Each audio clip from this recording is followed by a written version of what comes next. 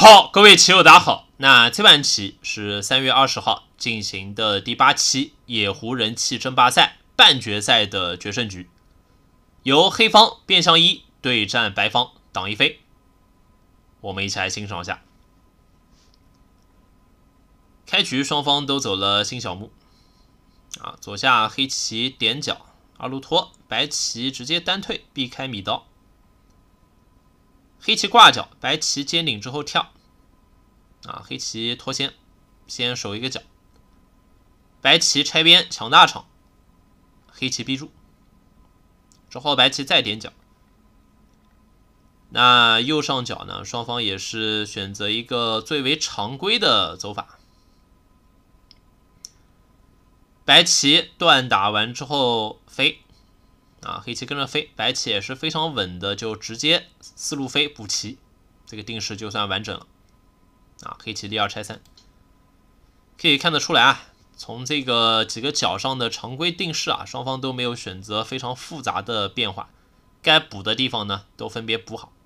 啊，对于这个半决赛的决胜局，下的还是非常的谨慎。下一手棋，白棋往底下飞正，啊，这个是关乎到黑棋模样的扩张。黑棋反手往左边一点刺，啊，先压缩白棋。这个棋白棋肯定是不肯直接粘的，不然的话，黑棋底下有各种打入，啊，这个白棋就头疼了。所以说，先拆回来啊。黑棋如果现在断，因为白棋底下已经处理好了，所以说只要。跑出左边这几颗子就行了啊，这个出头是很畅的。黑棋还要收工，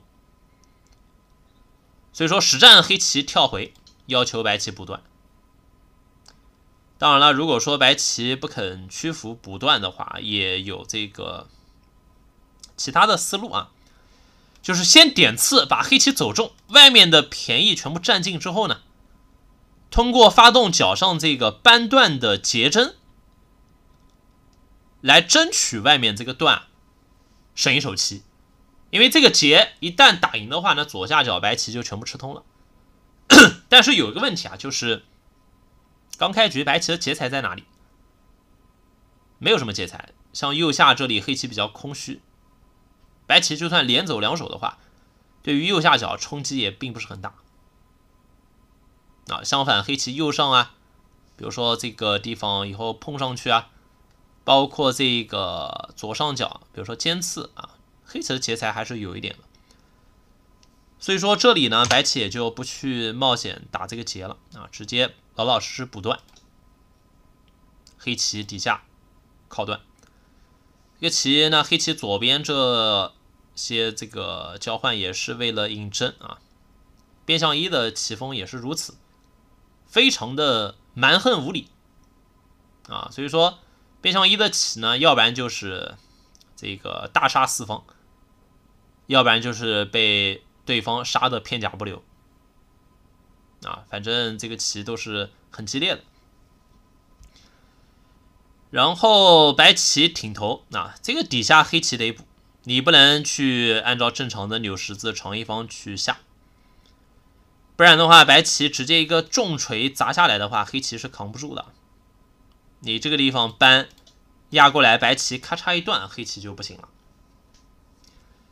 因为很显然啊，你藏在角上的话，外面有这个冲断；补外面的话呢，白棋角上打吃贴住又吃通了。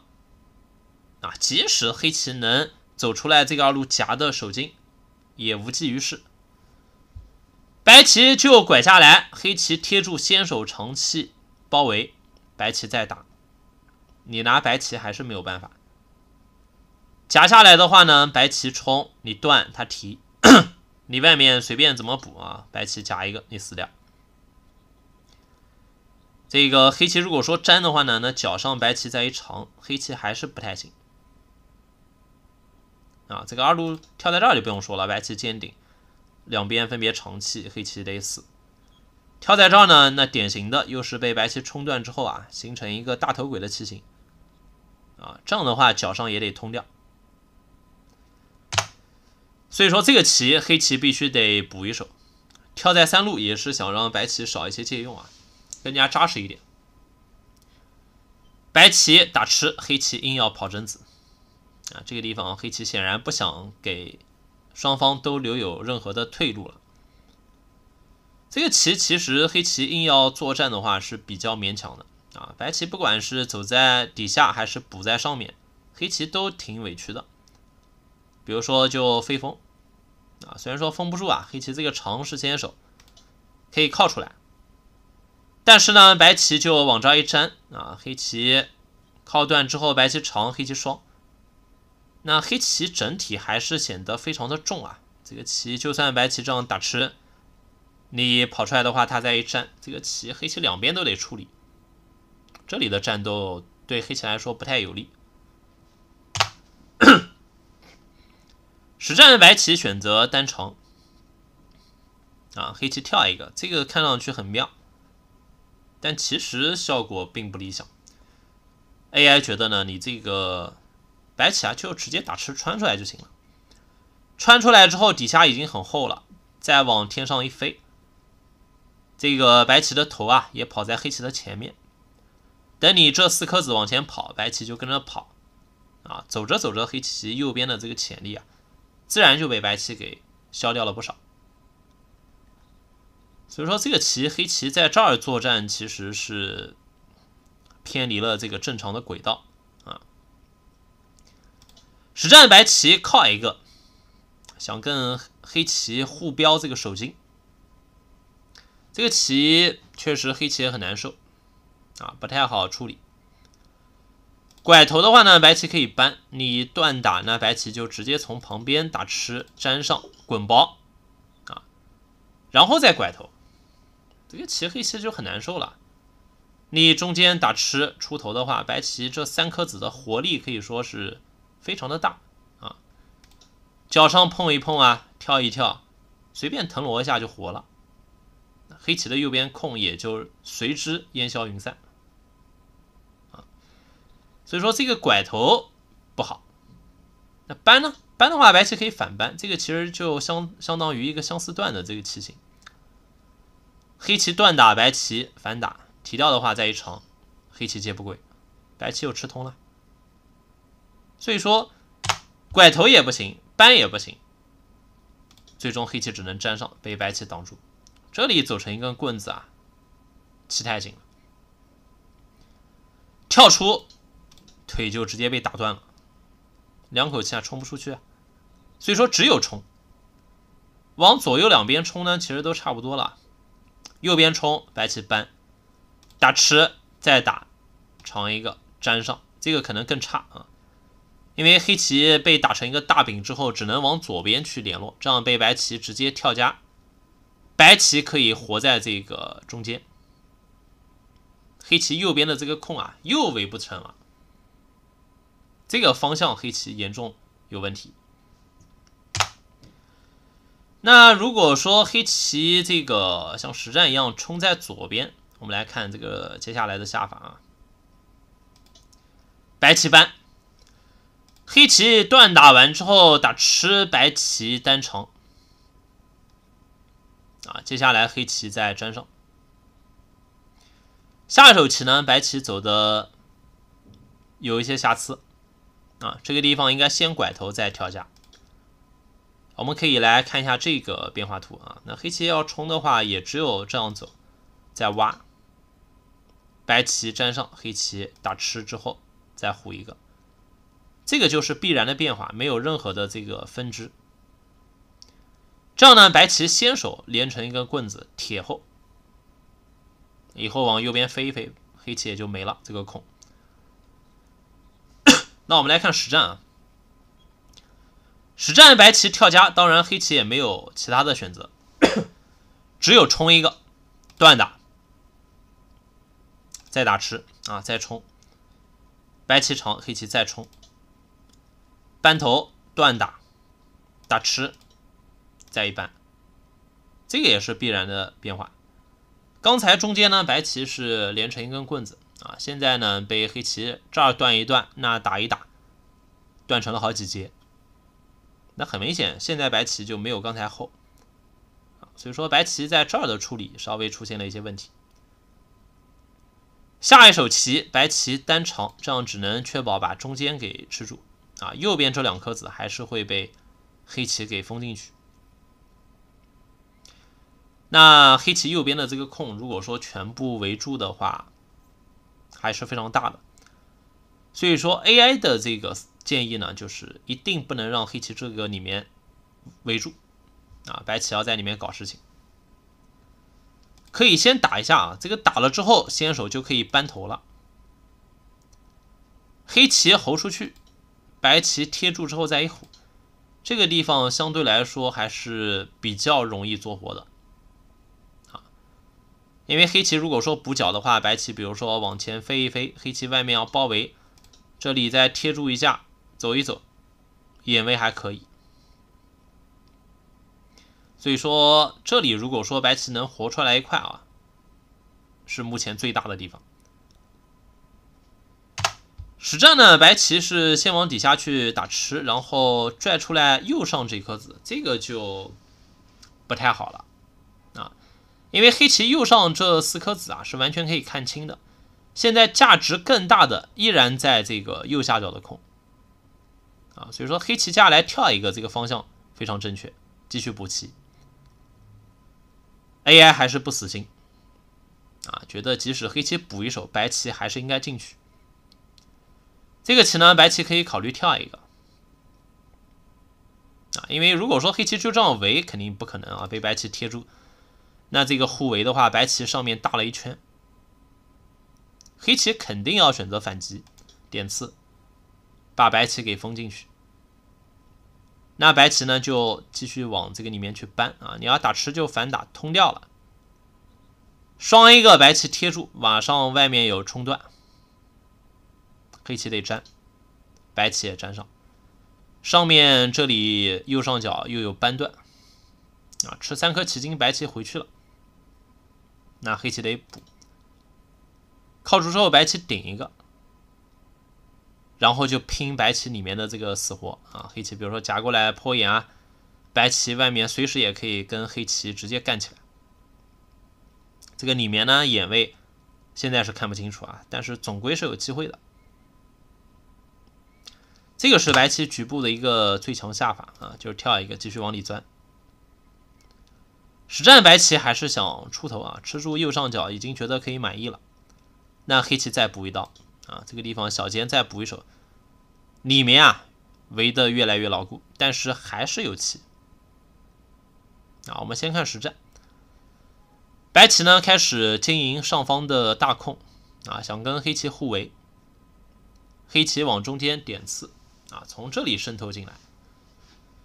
这个棋确实白棋围控的难度不小啊，因为你就像实战一样提到的话，黑棋左右两边啊都可以。往里面去深入，那这个点刺呢？AI 觉得仍然白棋可以脱线，我就趁现在黑棋这个右右上的穿象眼还没有完全补掉的时候啊，再进来，先往这个角上碰一个，马上这两颗棋筋要联络，那你黑棋得打吃吧，打吃连通，白棋再往上拆个二，马上穿象眼呢要连回。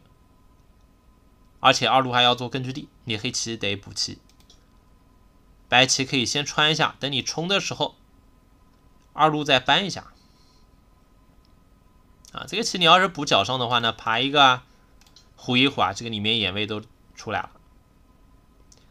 你要是点刺这样杀棋的话呢，白棋再往三三这里碰一碰，你比如说搬啊，白棋打吃啊，走一走，这里面是大概率是可以出棋的。所以说，AI 还是再三强调，白棋只要找到机会啊，就要进去，哪怕黑棋现在已经补的八九不离十了。实战呢，党一飞还是决定这个先稳住阵脚啊，慢慢跟黑棋磨。变相一选择扳头，扳完之后白棋反扳，黑棋断。下一手棋，白棋打吃，黑棋长。这个地方黑棋就是想最后利用一下右上角的这几颗死子，从中间这里把白棋的空啊完全打通掉。顺便呢再威胁白棋中间这朵花，啊，起到一个这个一子两用的这个目的。那白棋如果说就这样冲啊，冲完之后断打补上面显然不行啊，因为中间欠了一个冲断。实战呢，白棋的这手挖也就是为了补掉这个中间的问题啊。如果说黑棋打吃，那白棋可以断打完之后再双一个，这样的话黑棋再挡住白棋就可以断打去吃中间的黑棋了。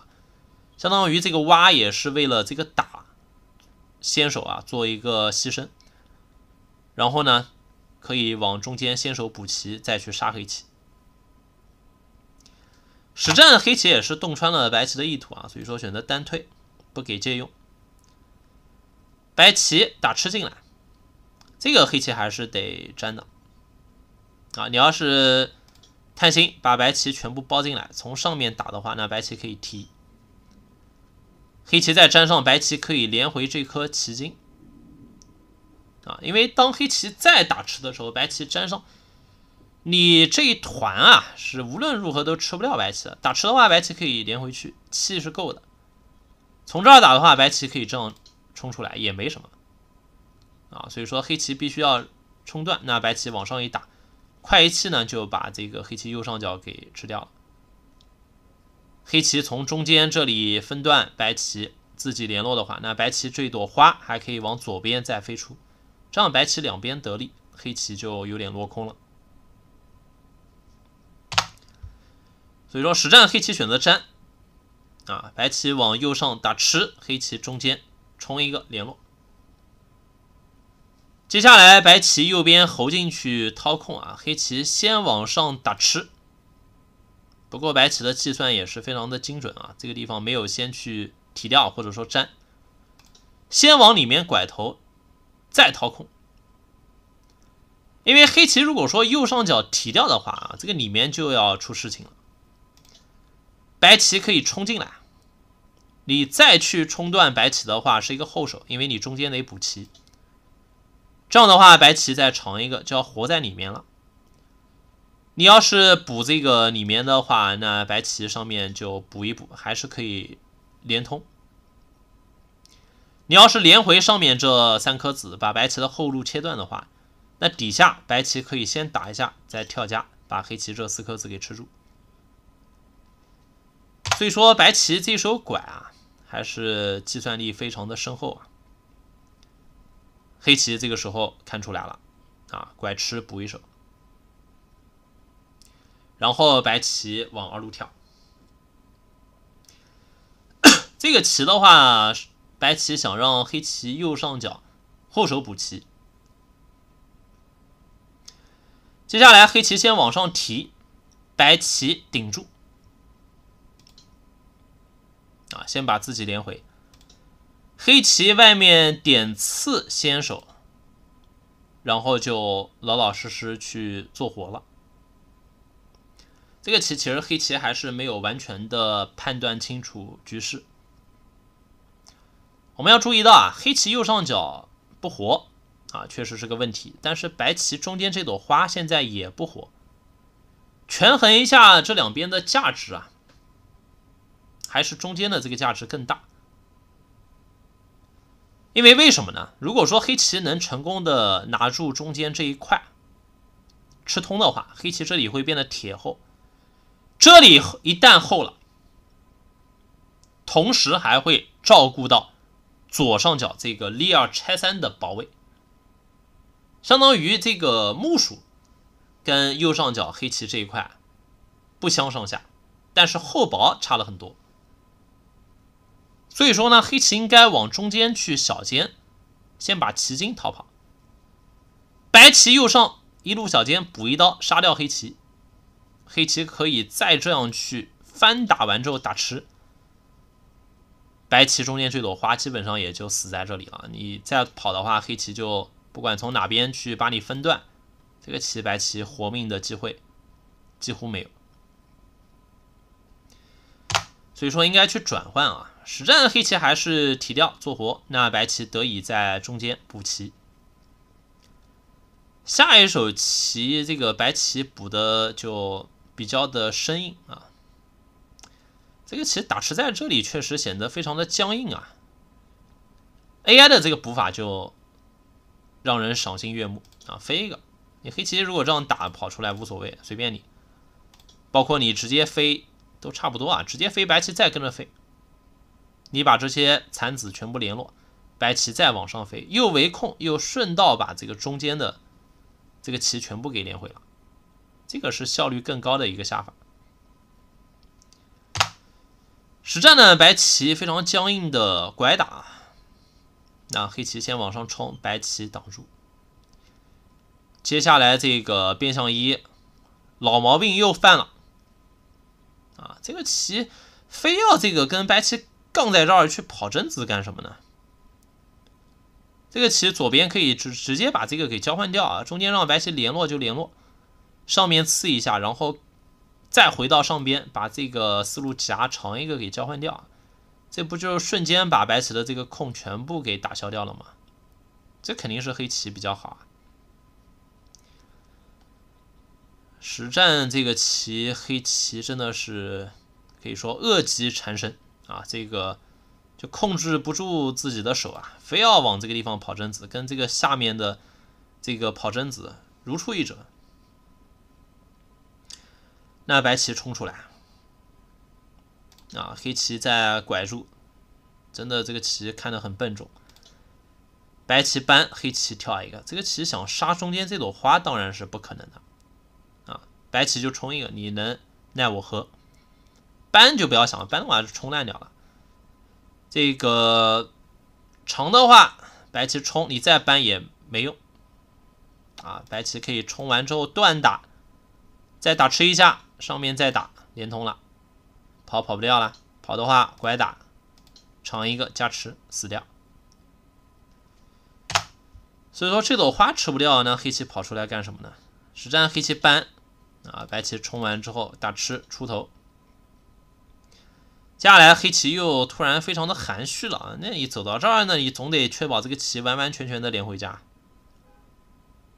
打吃啊，这个棋肯定不如双打吃。双打吃提掉白棋也不可能在这儿去顶一步，这个后手，他走其他地方，比如说上面没空，那你底下这个打始终是黑棋的先手，这个地方不是就铁后了吗？这个立二拆三又得到了加强，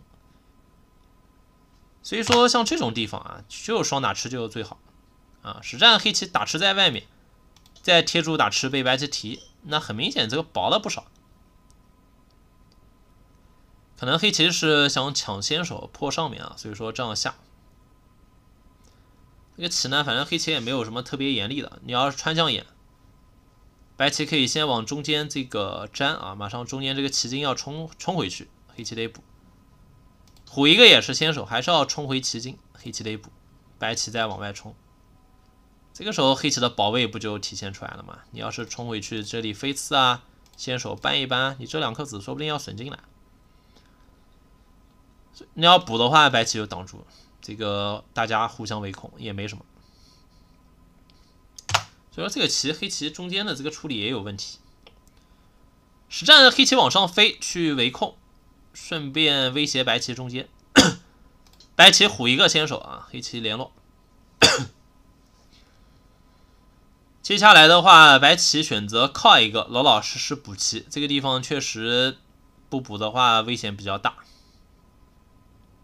有个穿象眼，主要是白棋如果说优先去点完之后搬破黑棋左边的话，这里黑棋随时脱身啊，就会这个粘上，然后再穿象眼反咬白棋一口啊，这个棋中间就有点危险了。所以说白棋靠住联络补棋，黑棋搬，然后白棋坚定。白棋也是忍了很久了，这个感觉黑棋越来越过分了，所以说白棋这个地方直接尖顶，把黑棋上面给分断。接下来黑棋打吃，白棋粘，这个粘不好。这个地方黑棋这个确实战斗力比较的强，白棋不一定非要去杀黑棋啊。如果说这个时候能形成一个互相掏空的局面，也是可以的啊。白棋可以跳一个。黑棋虎在上面，白棋挡住，上面冲回家让黑棋连回，白棋就直接往左边这里冲进来。啊，黑棋中间粘，白棋粘，黑棋联络的话，白棋再粘。上面虽然说白棋的空被黑棋给掏掉了，但是黑棋左边这个地方也是薄得很，他还不太好补啊。这里挡住的话，再冲，再长的话再冲，马上再长还有一个几段，这个尾巴说不定要交代在这里。所以说，其实白棋是可以考虑这个互破的。实战白棋还是粘？粘的话，黑棋往上虎，这里白棋联络受到重创。白棋长一个啊，黑棋再往外冲，这个地方还不太好去分段黑棋啊。比如说这个跳家，跳家的话，黑棋冲一个，你提掉的话，它断打，不可能粘劫啊。粘劫的话，上面冲要冲烂了，反杀了。你粘这个黑棋提劫，那就打劫吧。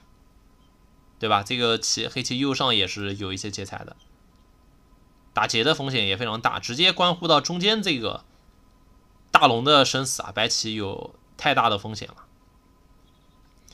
所以说跳家比较勉强。那比如说这个呢？这个看上去是个手筋，黑棋往上冲，冲完之后断，你打吃他粘上，这个中间几颗子你吃掉就给你了，这无所谓。关键是你上面两颗棋筋连不回去啊。并额的话，直接打吃，然后把白棋争掉。这样白棋也是直接就一拳扑了个空。所以说这个分段都不成立。那实战白棋冲一个，然后再飞刺，黑棋还要再粘上。这个地方也是看准了，白棋不敢这样去拐头。拐头呢，黑棋就冲啊，断，打吃它粘上。这个棋白棋如果说硬杀的话啊，上面断打，那自己中间大龙又完了。这个被黑棋跑回去粘上之后，白棋中间看得见的只有四口气。上面这个黑棋也是四口气，但是你气不太好收啊。你粘左边上面打吃，随便虎一虎，气长出来了。搬的话是最强下法，但是搬的话这个黑棋有打吃啊，粘上它再一打，这个气也能延长出来。所以说这个白棋不能强杀啊，还是要先把自己联络贴住。黑棋上面冲，黑棋这个地方下的还是比较冷静的。往外面冲的话呢，主要是还没有完全连得回去啊。白棋有这种靠的手段，因为你要跟着走，说不定这个马马上要被白棋给扳断了。你要是补上面的话呢，这个底下这条尾巴又危险了。白棋挖粘，虎一个的话，白棋拐头啊，你这个虎就虎不回家了，直接要被白棋扳断啊。那两边这个棋都不活，黑棋麻烦。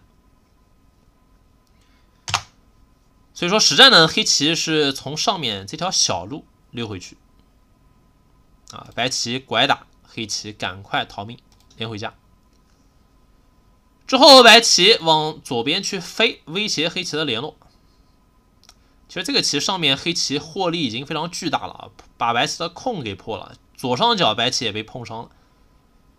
所以说这个左边这里的定型，黑棋可以说别无他求，只要可以连回，哪怕从这个一路连滚带爬都行。那这个地方具体应该怎么联络呢？应该往外面靠，然后再夹。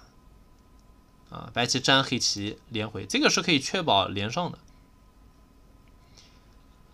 实战黑棋这个先往三路拖有问题啊，这个先拖白棋扳黑棋断，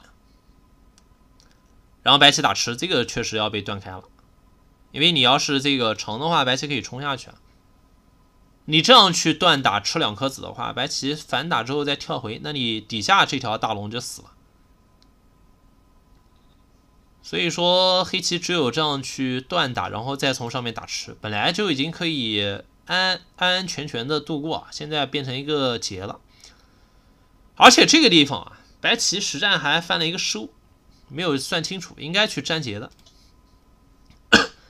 粘劫的话，黑棋粘白棋可以先往上提，这一提的话，白棋中间大龙彻底活起。那黑棋如果说要立下去杀这个角上，或者说杀这个梅花五的话，那白棋可以直接往角上团住啊，威胁黑棋的断点。黑棋尽可能的往上面打吃掏空的话，那白棋先把左边这个梅花五给联络跳回。黑棋粘，白棋断啊，这个这样角上虽然说白棋感觉破破烂烂的，但是黑棋上面也不火啊。你要冲的话，白棋还可以打吃。这样的话，黑棋提掉，白棋再往上面去补棋。那白棋活了，黑棋自然就死掉了。而且黑棋整个左边的大龙现在都不活。啊，所以说这样下黑棋就已经不太行了，白棋应该粘劫，然后把黑棋给断开杀棋。实战这个棋肯定也是时间不够用了，这个棋的计算是非常的复杂的，所以说白棋也就直接断上去了，打劫了。那这个棋就说不准了。打劫的话，右下角白棋拐出来长气啊，黑棋粘。这个因为你要是打的话，以后这个打又多了一枚劫财嘛。你粘的话，以后白棋冲这个就不算是劫财了，这个就小了。但是走这儿的话，这个棋以后官子会比较的亏啊。比如说以后白棋有这种二路比顶的这个收官的手筋，但是没办法，为了这个劫财，让白棋少一点。接下来白棋提劫，然后黑棋往上面去冲。这个棋白棋还是要这个就粘劫啊。如果说跟着印的话，黑棋再提，白棋劫财就不好找了，因为右下已经没有劫财了，你只能去找这个本身劫，比如说左边冲。那黑棋再跟着印，你再提，黑棋右上还有劫财啊。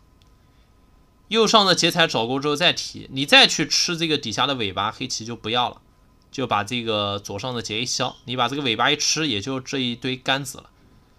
关键是白棋左上角这个损失惨重啊！不仅是上边的空被掏掉了，左边这个劫打的亏了，左上说不定还要死。所以说这个劫白棋不能这样打。这个黑棋右上冲已经算是给面子了，白棋赶紧粘劫啊！黑棋再往右上一站，这样的话呢，先形成了一个转换，白棋右上这个大龙被反杀。黑棋左边这块棋死掉，上面左上角这块棋现在生死未卜，主要就看这块棋的死活了。接下来白棋粘，先把角上给修补好。啊，黑棋往左边小尖，这个没用，白棋二路小尖阻渡就行了。因为黑棋如果说冲下来的话，白棋可以这样一路搬粘，不仅是阻渡，防止黑棋挤断啊。搬粘过后呢，还有个断打，给自己这个梅花五又留了一个后门。这样的话，黑棋上面粘做眼，白棋就可以二路飞破眼。黑棋再把中间白棋大龙这个分段的话，包括左边粘上的话，白棋就补啊。你什么时候往左上角立下去，白棋就断吃边上这颗子，还是可以联络。这样白棋都可以分别安定。那黑棋左上还是死。所以说这个二路小尖肯定也是必不可少的一手。那实战黑棋往上面粘，想要做活了啊！白棋往心位挤一个，先要求黑棋补断，然后渡过，这样什么左边这里挡住啊、阻渡啊之类的问题全部不存在，角上也活干净了。现在黑棋这个左边大龙全死，还是要看上面这个棋的胜负就在于这里的死活问题了。然后黑棋上面飞一个扩大眼位，白棋粘上，黑棋再挤，挤掉之后呢，白棋中间肯定要粘补断啊，黑棋再往上搬扩大眼位，白棋挡住，这个棋角上不能不补。你如果说先往上面去二路飞，这样去破眼的话，那脚上有问题了，被黑棋爬一个之后再往上面一断，因为。二路有一个挖完之后粘这个先手破眼啊，白棋只有粘上。等你粘的时候，黑棋再往脚上搬，这样这个只有一只眼啊，这个白棋不活了。脚上跟黑棋边上这块对杀，白棋也没什么把握，这个气也挺紧的。所以说肯定要先确保角上活棋啊，实战白棋挡住，黑棋选择立啊。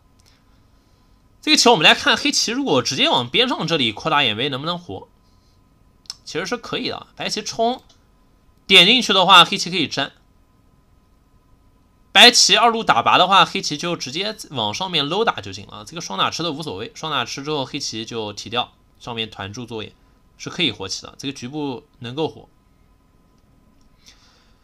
实战的黑棋为什么选择一路立呢？就是继续想保持对于白棋右上角的威胁啊。其实这个棋的话，白棋应该挡住，挡住的话先确保自己的眼位。然后黑棋虎在这儿的话，接下来白棋杀棋的手段是要往这个一路去拖，因为有个倒扑嘛。黑桥补的话只有打吃啊，白棋可以这样断打上去，然后再打吃跟黑棋打这个劫，个局部就变成一个打劫活。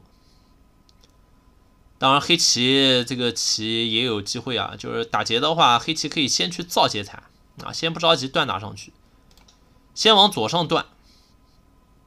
等白棋提劫的时候，黑棋在这个左边冲下来，这样先造一堆劫财啊，以后这个一路打，包括这个白棋搬的时候再打吃啊，各种劫财全部用上，再跟白棋去打上面这个劫，黑棋就有把握了。所以说这个棋如果白棋挡住的话，这样形成一个劫也是很乱的啊。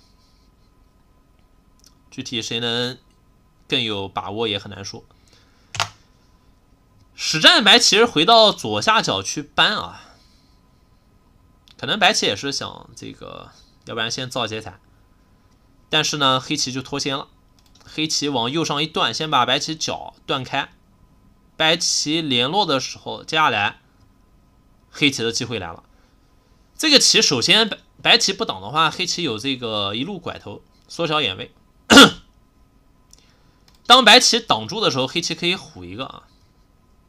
这样还是刚才的这个棋形，就是白棋想杀黑棋的话呢，你就必须要走这个一路拖，然后断打，去跟黑棋打这个劫。但除了这个地方有个劫之外啊，这个角上白棋也够呛，这个被黑棋扑一个你怎么办？提到的话有这个打，你粘上直接往脚上一搬，局部是死棋。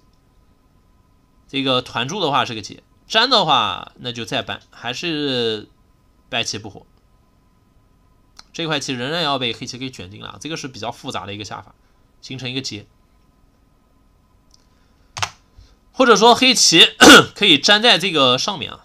这个粘是什么意思呢？这个粘首先扩大眼位，还有就是就让以后白棋这个地方粘变成一个后手啊，黑棋可以挤进去，就是在这个这个子已经粘上的情况下，挤到中间可以把这个眼破掉，但是这个是后话了。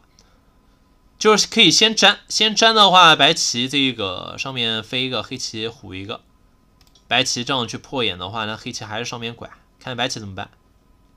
挡住的话就仍然是扑进去啊，白棋团住那就跟白棋打这个右上角的劫，形成一个打劫杀。白棋如果说不管了，去吃黑棋左下啊，因为这里黑棋还欠了一手棋没有补，吃左下角的话呢，黑棋就杀右上角拖进去。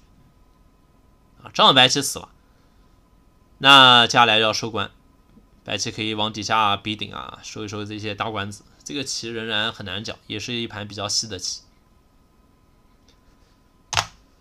所以说这个右上啊，反正白棋不补，至少是有个结针的。啊，实战黑棋是先往中间粘，去破掉白棋中间这只眼，然后白棋粘上先打吃。其实这个时候对于黑棋来说，先不要粘，还是有一个绝佳的机会，就是拐到这个一路去。这个拐头非常的严厉啊！拐头白棋搬下来，刚才我们摆的是这个变化啊，就是虎的话，白棋有这个一路拖，然后断打上去开劫。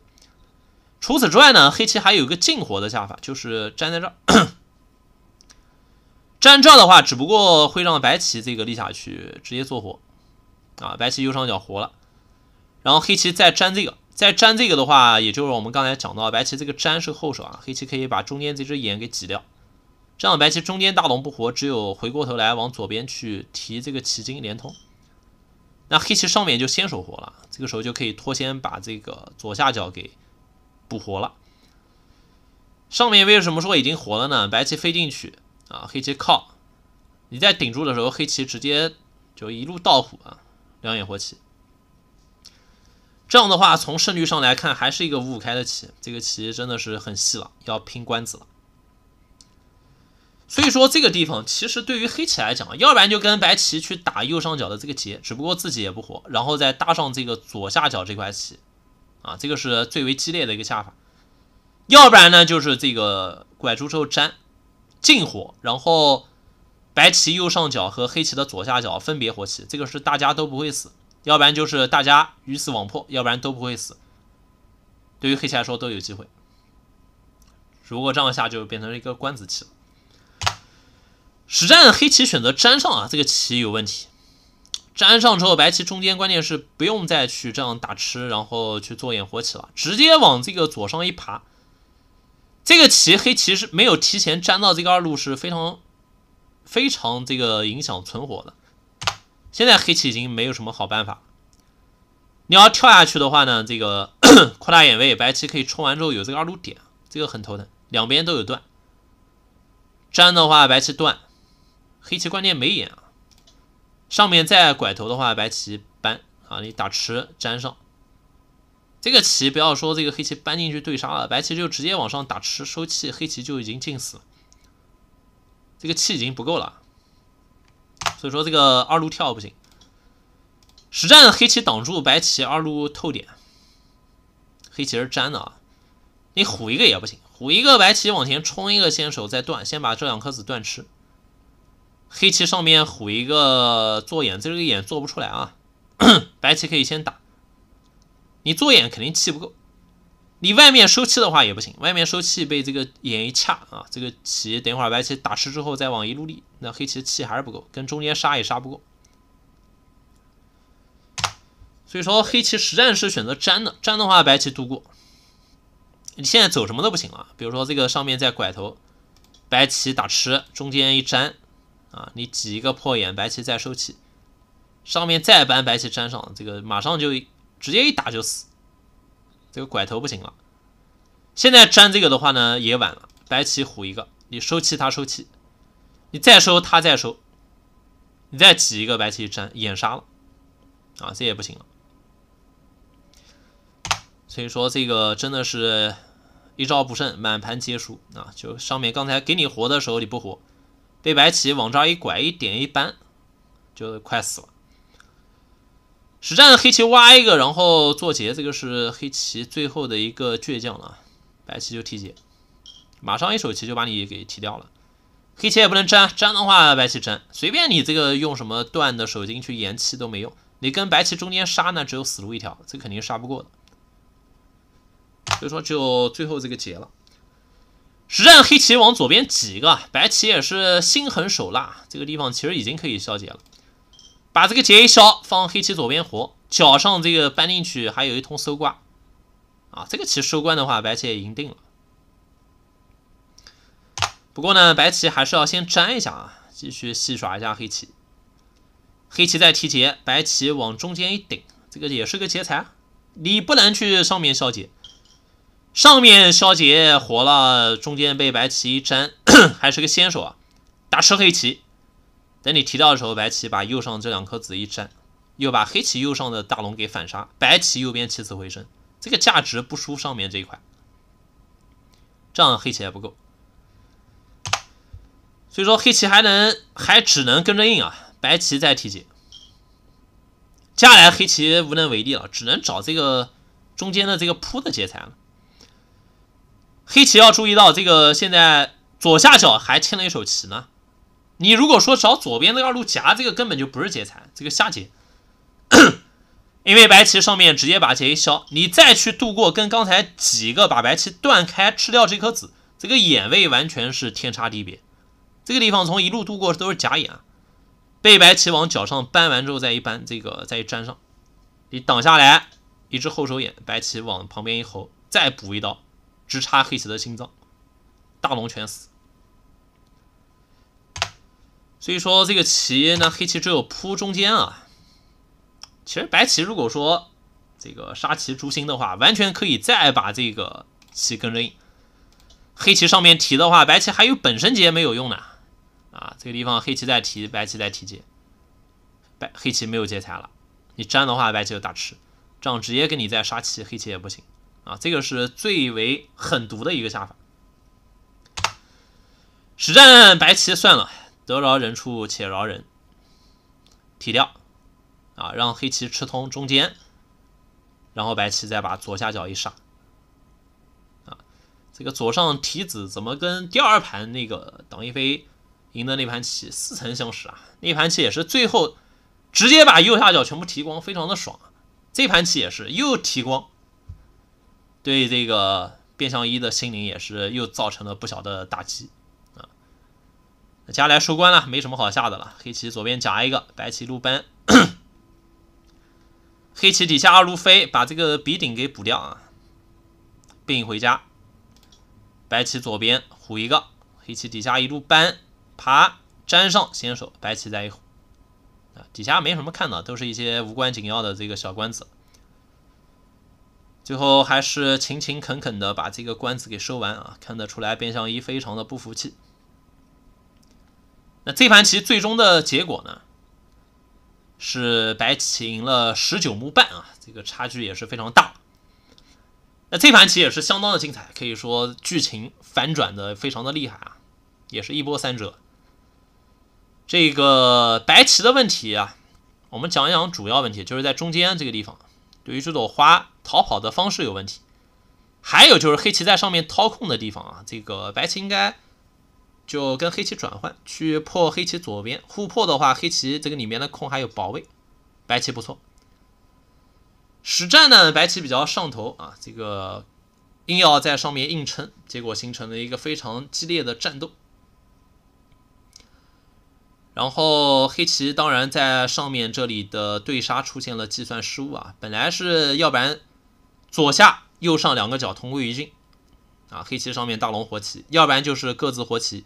收官，对于黑棋来说都完全没有什么这个负担的棋。那最终黑棋出现判断失误啊，在上面这个被白棋先缩小眼位之后啊，形成对杀，最终产生一个劫阵。这个棋黑棋没什么劫材，就被白棋直接给打爆了。啊，这盘棋主要边相一这几个，比如说底下这个跑针子啊，中间的跑针子啊，就下的太一根筋。在一些没有必要挑起战斗的地方，非要硬去杀，啊，然后最终计算也是连连出出现失误。好，那也是恭喜党一飞获得了半决赛决胜局的胜利。好，那这盘棋就给棋友们带到这里，希望大家看得过瘾。如果喜欢我的视频，请棋友们给我点个赞，谢谢各位的支持。我们下一期视频再见，拜拜。